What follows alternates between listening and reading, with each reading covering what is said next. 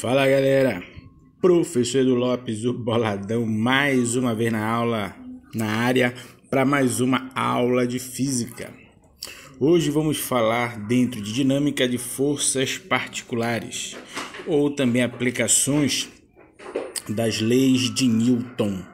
Galera, uh, então aqui nesse assunto vai aparecer algumas forças ao qual nós temos que nos familiarizar, nós temos que entender melhor que ela está presente no nosso cotidiano, isso que vai fazer com que fique mais claro, mais evidente tal assunto aí.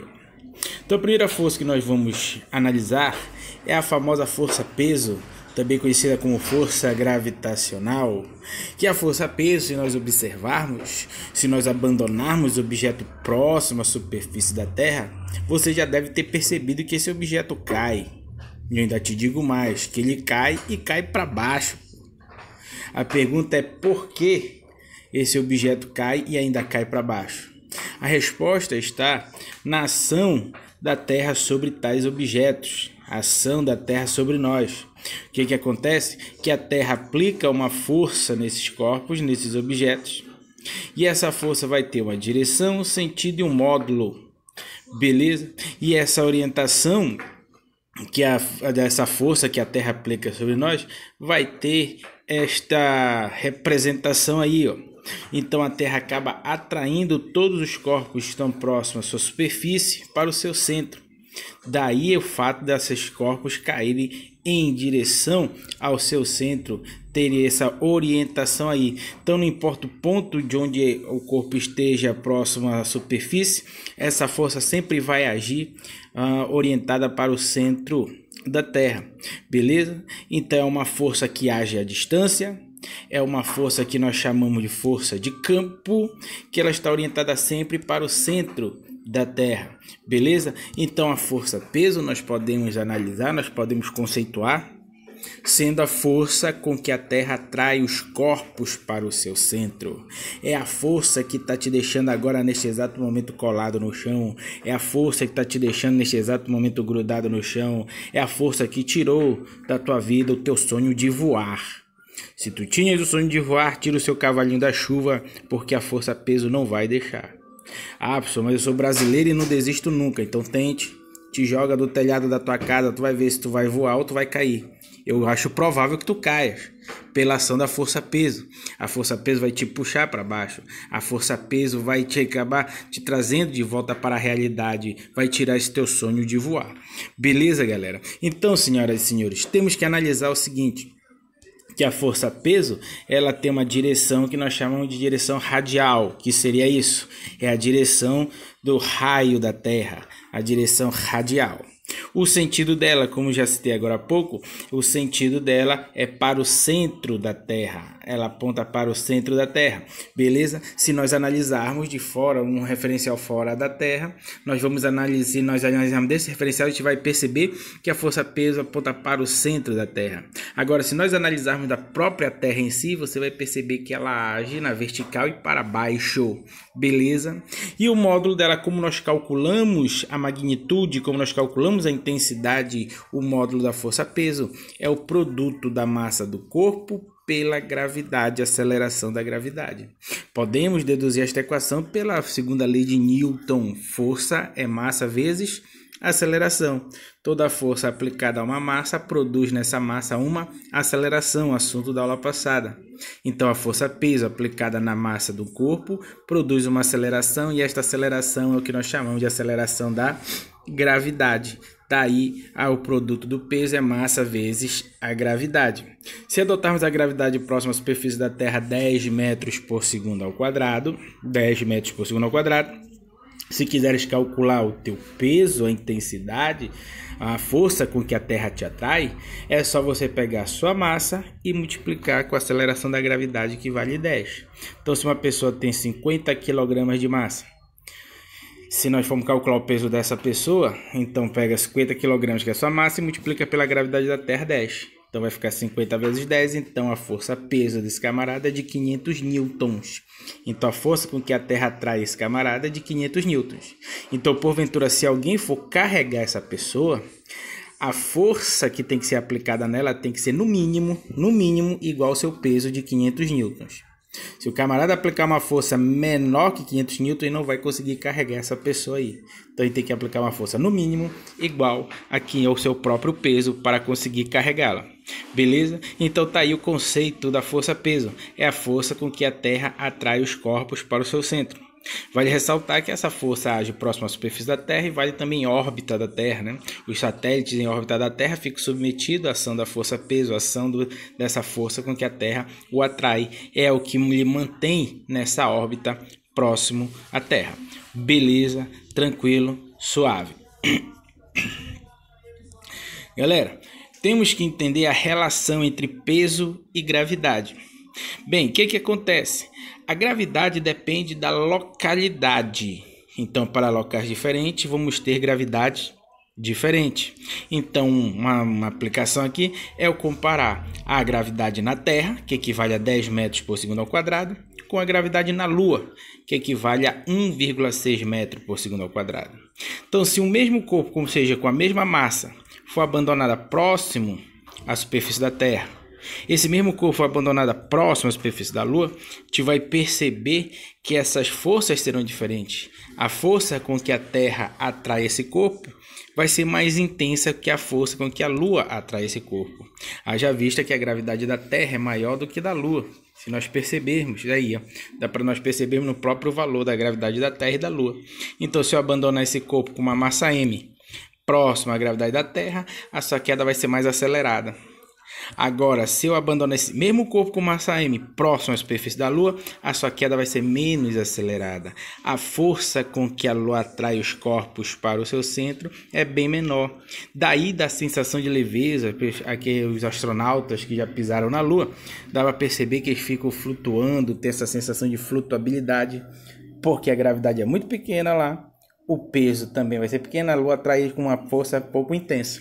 Beleza? Então perceba que o peso é diretamente proporcional com a gravidade do local. Onde a gravidade é maior, o peso desse corpo será mais intenso. Beleza? Tranquilo? Um outro detalhe é a relação entre peso e massa. Não esqueça que peso e massa são diferentes. Talvez seja difícil tu encontrar em Belém uma farmácia, mas quando tu encontras, tu sobes a balança e tu diz que tu vai te pesar. Está equivocado, está errado. Porque quando você sobe na balança, você não está se pesando. A leitura da balança é dada em quilograma. Quilograma é unidade de massa. Você está verificando a sua massa e não o seu peso. Se você quiser o seu peso, você pega essa massa na leitura da balança e multiplica por 10, que é a gravidade na Terra. Beleza? Então, peso e massa são grandezas diferentes, tá? Massa é a quantidade de matéria que tem no nosso corpo. Peso é a força com que a Terra nos atrai. Beleza? Massa é propriedade do corpo, então não interessa onde você esteja, a tua massa é constante. O peso não, o peso depende da gravidade. E se tu vai para um local onde a gravidade muda, o teu peso vai mudar também. Beleza? Não esqueça disso.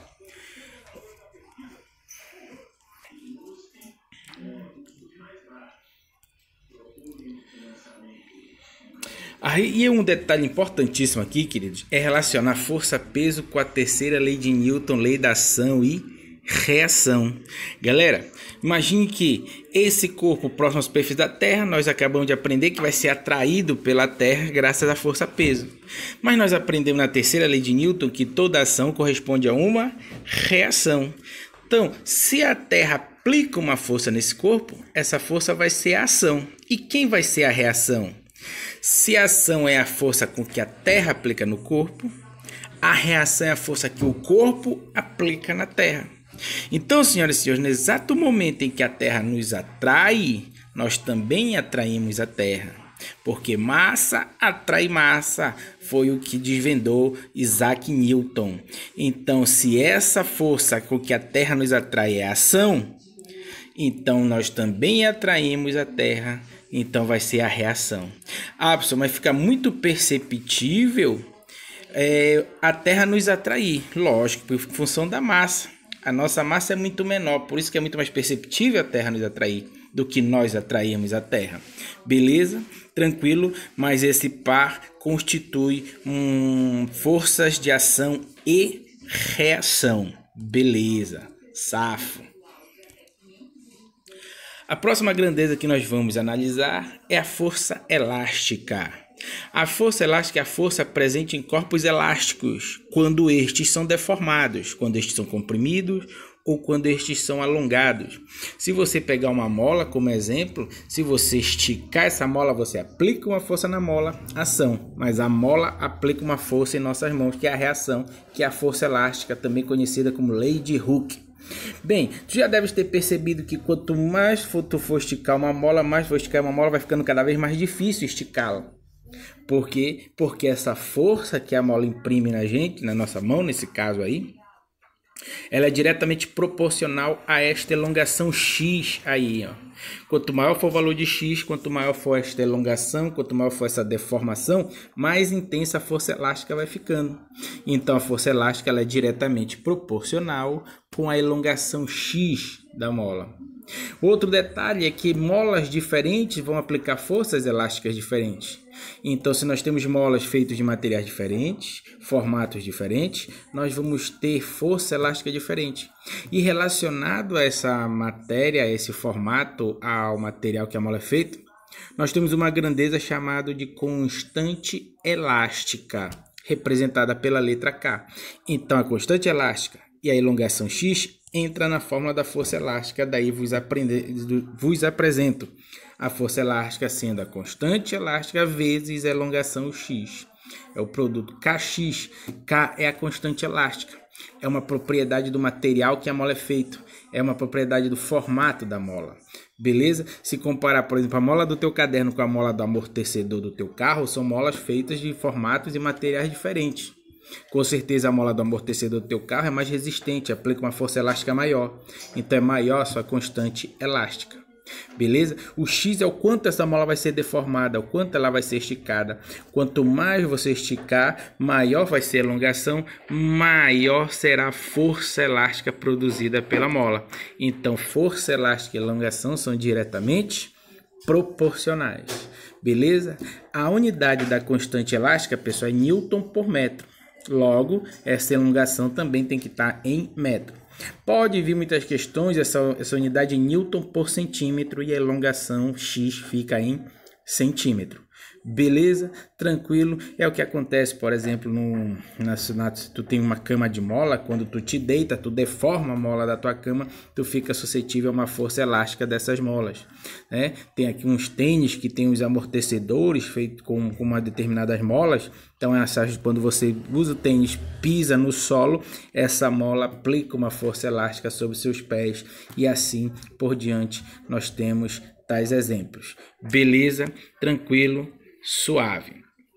Próxima força é a tração ou tensão, que é a força presente em cordas, fios, corrente, cabos, quando estes são totalmente esticados.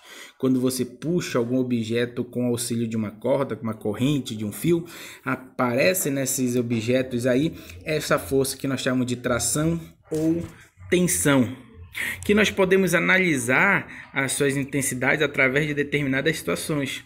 Por exemplo, nesse caso aí, uh, esta cenoura está apoiada, está sustentada por um fio.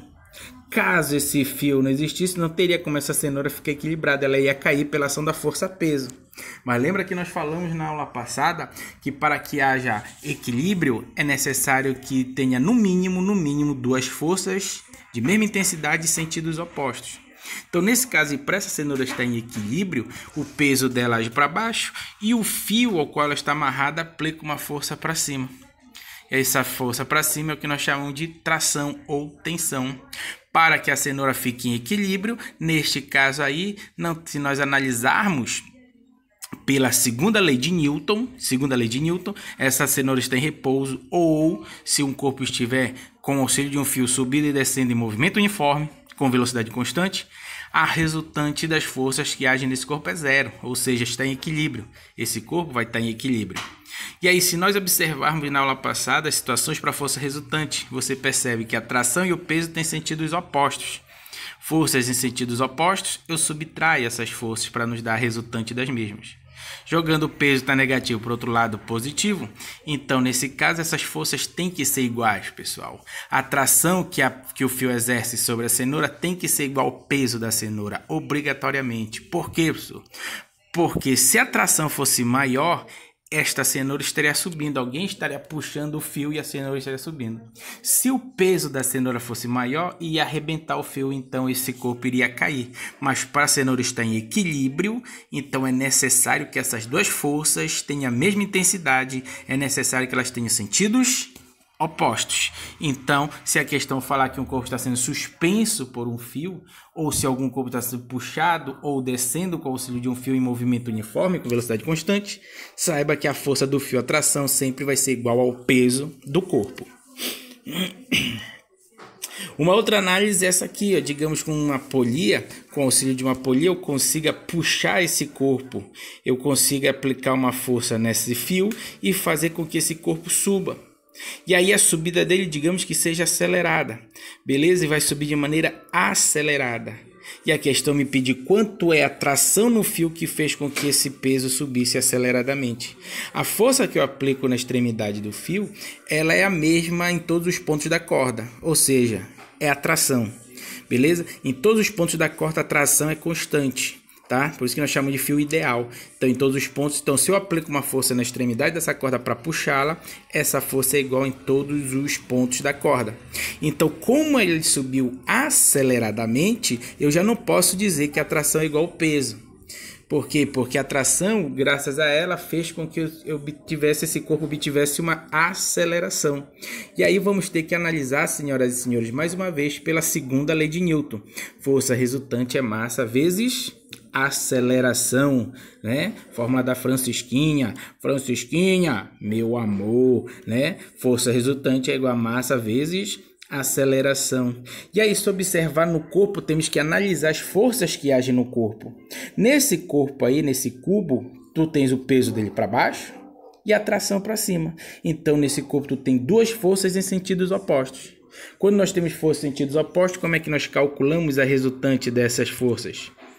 Pela subtração das forças. Então vai ficar tração menos o peso no lugar da força resultante. Por quê? Por quê? Por quê? Porque no corpo agem duas forças em sentidos opostos. A resultante dessas forças é a sua subtração.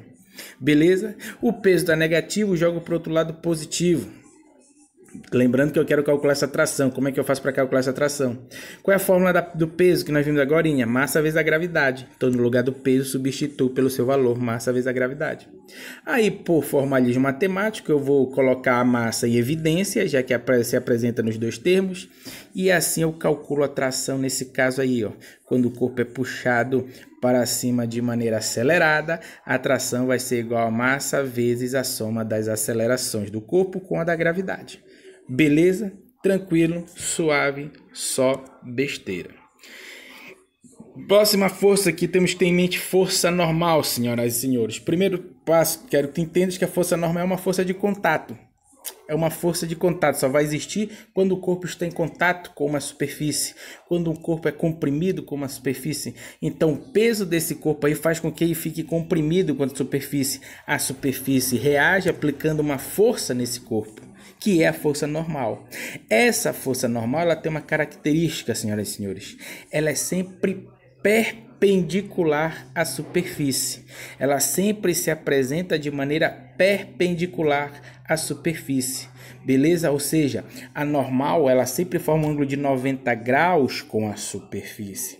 Tudo certo? Beleza? Então, primeiro ponto: a força normal é uma força de contato que as superfícies aplicam sobre os corpos. E qual é a orientação dela? Sempre é perpendicular à superfície. Entre ela e a superfície existe um ângulo de 90 graus. Então, se nós observarmos nesse caso aí, como age a força normal em cada ponto aqui, ó, ela sempre tem que ser perpendicular à superfície. Então, no primeiro caso, ela vai estar tá apontando para cima, porque hum, nesse ponto onde o carro se encontra, ela vai para formar um ângulo de 90 graus com a superfície, ela tem que ter essa orientação aí, ó. Então ela tem que estar tá na vertical para cima. Agora, se esse carro começar a fazer um looping nesta segunda posição que nós vamos ter aqui, ó, onde tem que estar tá orientada a força normal para que ela forme um ângulo de 90 graus com a superfície? Só pode estar na horizontal e para a esquerda. A força que a superfície aplica no carro e aí ela vai formar um ângulo de 90 graus com a superfície. No ponto mais alto da superfície aí, no caso aí, onde tem que estar orientada a força normal para que, ela, para que ela seja aplicada pela superfície no corpo e para que ela forme um ângulo de 90 graus com a superfície? Só tem um jeito. Ela tem que estar para baixo. Beleza. E por último, nesta outra situação aí, onde tem que estar apontando a força normal para que a superfície aplique a força no carro e ela forme um ângulo de 90 graus com a superfície? Ela só pode estar na horizontal e para a direita. Então entenda que a orientação da força normal ela é sempre perpendicular à superfície. Beleza? Tranquilo. E aí, duas situações que nós vamos ter quanto o plano horizontal e o plano inclinado. No plano horizontal, a força, eu for calcular quanto vale a força normal, senhoras e senhores, esse corpo está apoiado aí. Na vertical ele não tem movimento, ele está em equilíbrio. Para ele estar em equilíbrio, lembra que eu te falei, é necessário que haja duas forças sobre esse corpo com a mesma intensidade em sentidos opostos. E quais são as forças que agem nesse corpo? Esse corpo está apoiado sobre uma superfície, a superfície aplica uma força sobre ele, que é a força normal. Mas esse corpo também tem um peso tem o peso dele para baixo, que a Terra o atrai. Então, numa superfície, num plano horizontal, a força normal sempre será igual à força peso. A força normal sempre será igual à força peso. Não esqueça disso de maneira alguma. Beleza? E nós vamos precisar muito, principalmente quando falarmos força de atrito. Então, no plano horizontal, a força que a superfície aplica no corpo é sempre igual à força com que a Terra nos atrai, ou seja, igual à força peso. Se você está sentado agora, você está em equilíbrio por causa disso. A Terra te atrai para baixo, só que, por exemplo, o assento da cadeira, o assento do sofá que você está sentado, aplica uma força em você para cima, que é a força normal. Para estar em equilíbrio, essas forças têm que ser iguais. Porque se teu peso for maior que a força normal, tu vai quebrar a cadeira, tu vai cair, tu perde o equilíbrio. Beleza? Já no plano inclinado, a força normal vai depender do ângulo de inclinação desse plano. Óbvio que se tu for aumentando esse ângulo de inclinação, se tu for aumentando esse ângulo de inclinação, a tendência é desse corpo cair, deslizar. Beleza? Porque tu vai estar tá diminuindo a força normal, tu vai estar tá diminuindo o contato. Então, a força normal aí vai ser igual ao peso vezes o cosseno deste ângulo aí. Então, no plano inclinado, a força normal é o peso do corpo vezes o cosseno do ângulo. Se eu aumento este ângulo, eu vou estar diminuindo o cosseno dele. Então, vou estar diminuindo a força normal, vai estar diminuindo o contato entre o corpo e a superfície. Por isso que o corpo tende a deslizar. Beleza, galera? Tranquilo? Essa foi nossa aula de hoje. Até nosso próximo encontro. Até lá, viverei de saudades.